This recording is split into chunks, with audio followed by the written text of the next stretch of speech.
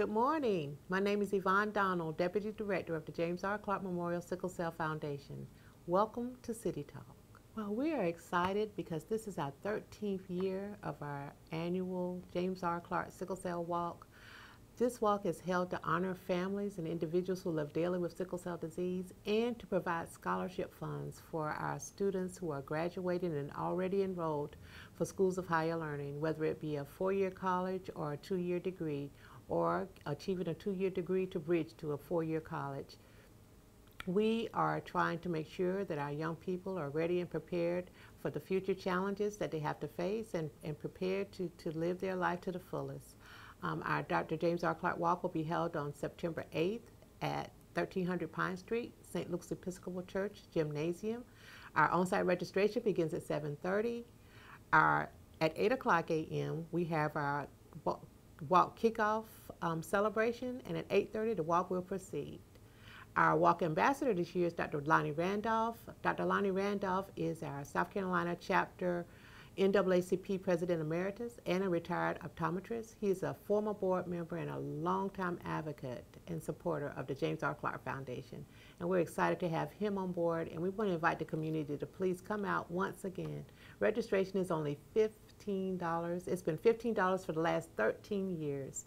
And we've done some wonderful things with those funds. We have actually awarded 28 scholarships to date. That's 28 students who've been able to take advantage of these funds that we raise for the walk. So please come out at $15 per person. I mean, we spend that on lunch. So please come out and, and support us and help us to have another wonderful walk because we're doing good things with the funds that we're raising. The $15 includes an, a commemorative t-shirt. And every year we have a special design uh, reflecting um, sickle cell disease and um, our fight in the cause for sickle cell disease. So this year, come out and get your commemorative T-shirt for $15. Um, also, if you create a team of three to 10 individuals, you get a T-shirt free. So if you want to be a team leader and come out and create a team from three to 10 individuals, you get your T-shirt free. So come out and join us. We always have a wonderful time. It's so much fun, high energy, great crowd. So please come out and join us.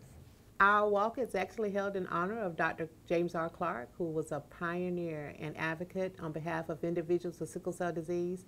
And our visionary is Miss Peggy Roan.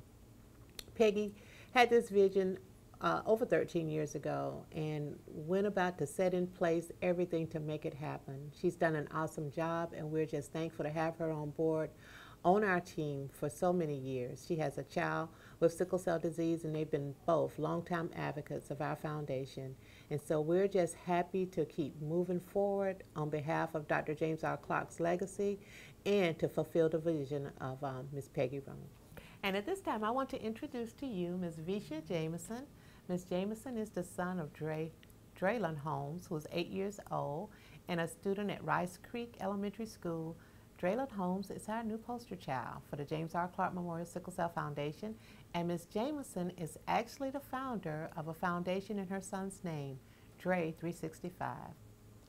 Good morning, City Talk. Um, as Ms. Yvonne said, my name is Visha Jameson, and I have a son who is a warrior with sickle cell disease. Um, I met Miss Yvonne in 2012, um, and she has been such a great, great inspiration and where she introduced us to um, James R. Clark Sickle Cell Foundation, and we have been um, supporters of the walk since then.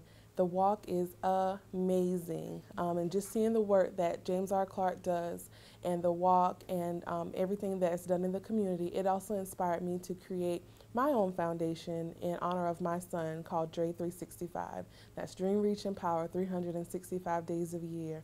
Um, our warriors fight every day, and so should we. So, one of the reasons we have this walk is to honor these individuals, to hold them up in honor for those that are facing the daily challenges of sickle cell disease, to bring awareness and to just let everybody know that we're all in this fight together, that this is another disease that needs your support and attention. So thank you so very much for all of those who participated in the Walk in the Paths and those who have already registered. Registration is only $15, so please, again, come out and join us.